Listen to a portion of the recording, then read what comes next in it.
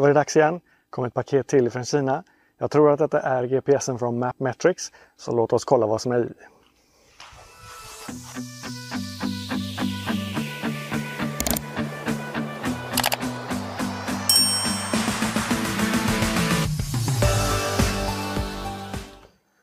Här är den.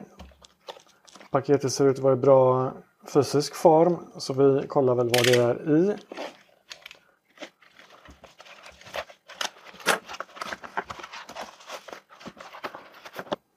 Jajamän, det är från eh, uh, Mapmetrics. Special Position Tracker kallar de den. Så vi fortsätter och se vad det kan vara i.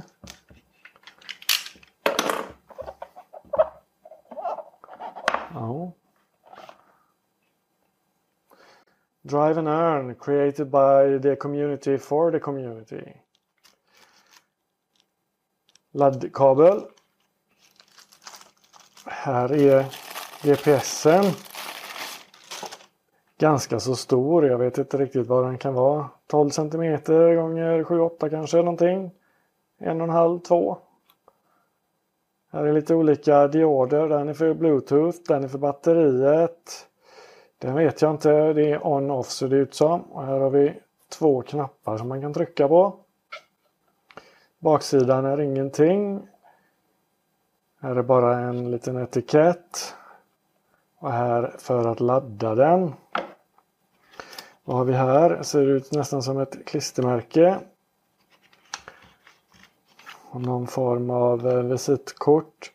Manualen kan man scanna fram här. Se om det är något mer under.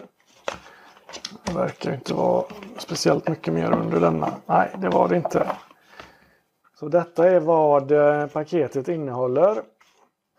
Så nu är det väl dags att ladda den och sen eh, ska jag connecta den till min wallet och sen är det ut och köra och tjäna.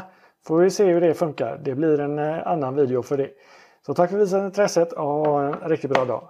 Hej hej!